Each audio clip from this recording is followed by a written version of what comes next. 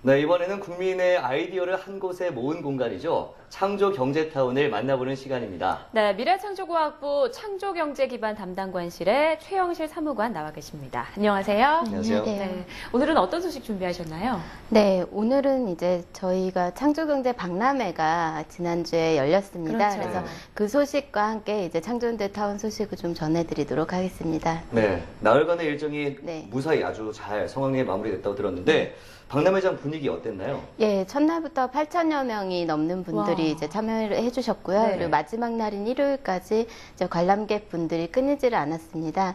그래서 처음 만나는 이제 아이디어 제품에 신기해하는 반응들도 있었고요. 창업이나 투자 상담을 이제 하시는 분들은 진지함을 또 보이는 부분까지 있었습니다. 네.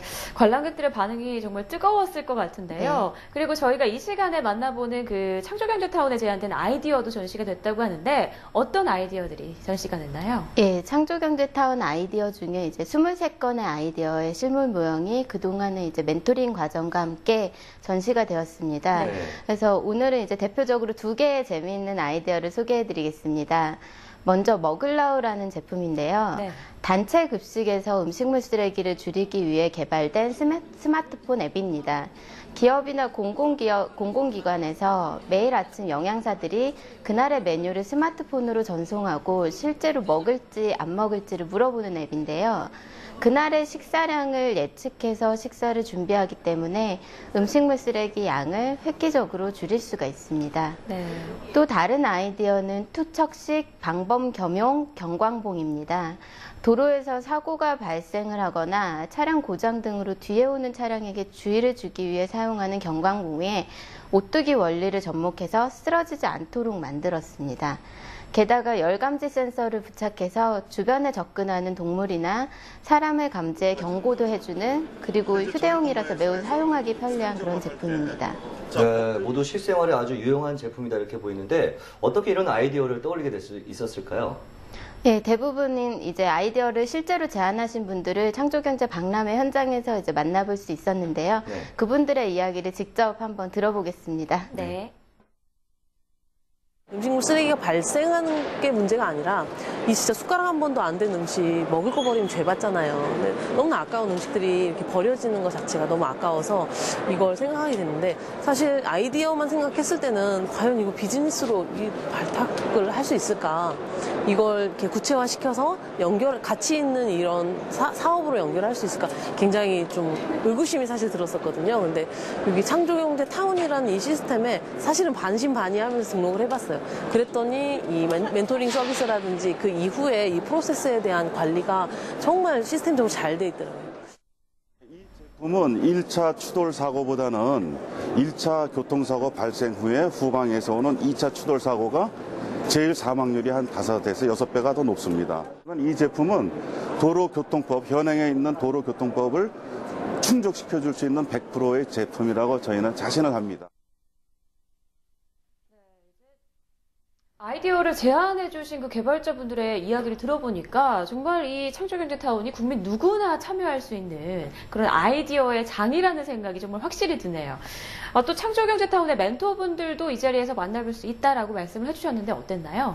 네, 창조경제 박람회가 열리는 나흘 동안 사전에 신청을 받은 멘토분들과 멘티분들이 직접 만나서 멘토링을 받을 수 있는 멘토와의 대화 프로그램을 진행했습니다. 네. 그래서 온라인에서도 구체적인 상담 내용을 토대로 활발한 멘토링이 진행되고 있는데요. 이러한 온라인 멘토링의 연장선상에서 오프라인에서도 멘토와 멘티가 직접 만나서 좀 더 구체적이고 심도 있는 멘토링이 진행될 수 있는 기회가 되었습니다. 이 프로그램에 참여한 이제 멘토와 멘티의 인터- 인터뷰도 함께 보시겠습니다. 네. 네, 구체적으로 또 바로 대화를 하니까 또 문제되는 거를 또 그쪽에서 알려주고 또 나도 좀 궁금한 걸 좀 더 구체적으로 상세하게 알아보고 다른 제품이 또 이런 거 비슷한 게 있는 건지 그 바로 즉시 또 좀 알아볼 수 있고 있는데 근데 이제 자기가 이제 새로운 아이디어를 가지고 상품을 만들었을 때 그걸 사업화 시키려고 했을 때 앞으로 그 프로세싱을 전혀 모르시는 분들이 일부 있고요. 이제 그런 분들한테는 앞으로 자기가 그 본인이 사업화하기 위해서는 창업을 해서 샘플을 만들어 이제 양산 시스템을 갖출 때 그 들어가는 이제 그 비용 들어가는 비용 산출하는 뭐 얼마가 소요될 거며 그 자금을 정부 기관에서 쓴 뭐 기본화 신보에서 받는 경우도 있고 여러 가지 그런 부분을 좀 그런 분들한테 그렇게 얘기를 좀 드렸고요. 지금 프로세싱으로 시작을 했다면 빠른 시일 안에 많은 성과들이 있을 거라 저는 개인적으로 좀 기대를 하고 제가 며칠 동안 좀 경험을 했습니다. 네, 뭐 멘티뿐만 아니라 멘토에게도 또 의미 있는 시간이 된 것 같습니다. 네. 앞으로 이런 만남 계속 추진하실 계획인가요? 예, 사실 저희가 지난 11월에도 창조경제타운 멘토링 워크숍을 개최를 했었습니다. 그래서 이제 멘티분들이 자신의 아이디어를 발표하고 다양한 분야의 멘토분들로부터 멘토링을 받는 기회를 마련한 적이 있었습니다. 그리고 이번 창조경제 박람회에서 나흘간 진행한 오프라인 멘토링 행사에서도 많은 분들이 참여를 해주셨고 또 반응이 뜨거웠는데요. 네. 이런 이런 이제 행사를 통해서 온라인뿐만 아니라 오프라인에서 이제 만남도 아이디어 발전에 매우 중요하다는 걸 저희가 다시 한번 이제 확인할 수 있었습니다. 그래서 앞으로는 이러한 멘토 멘티 간의 오프라인 만남과 교류의 기회를 많이 마련할 계획입니다.